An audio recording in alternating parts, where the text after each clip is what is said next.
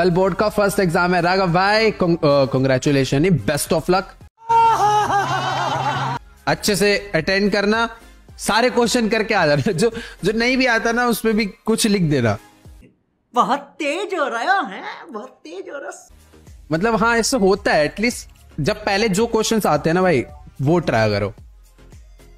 मतलब पता है एग्ज़ाम करने की एक ट्रिक होती है जैसे मैं भी बचपन में क्या करता था एग्ज़ाम ऐसे करता था पहले क्वेश्चन वन करा।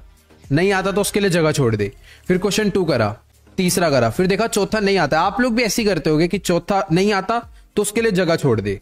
है ना कि जब याद आ जाएगा या अगल बगल वालों से पूछ लेंगे, तब लिख दी। जो चीज़ आपको आती थी वो रह जाएगी। तो जो एकदम अच्छे से आता है मतलब सिंपल कहो ना तो एग्ज़ाम उल्टा स्टार्ट करो। जो चीज़ लाइन वाइज मत करो, कभी भी मत करो। ऐसा सही बता रहा हूँ। एग्ज़ाम कभी भी लाइन वाइज नहीं करना चाहिए, ऐसे वन टू थ्री फोर तू समझा? हाँ। नहीं तू समझा नहीं।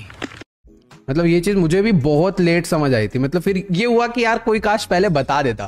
क्या टीचर्स ने बताया था पर उस टाइम ध्यान नहीं देते थे बातों में मस्त रहते थे? सीधा ये सबसे बेस्ट टिप बता रहा हूँ भाई सीधा वो क्वेश्चन सबसे पहले ट्राई करो जो आपको पूरा हंड्रेड परसेंट आता है। इससे क्या होता है, जब टीचर चेक करने जाता है ना पेपर तो उसका भी इंप्रेशन आपके ऊपर बहुत अच्छा आएगा कि भाई बंदे ने पहला क्वेश्चन करा है मतलब पहला आंसर करा है, एकदम करेक्ट है। फिर उसके बाद जो जो आते हैं, पहले सारे निपटा दो, फिर उसके बाद दोस्तों को परेशान करो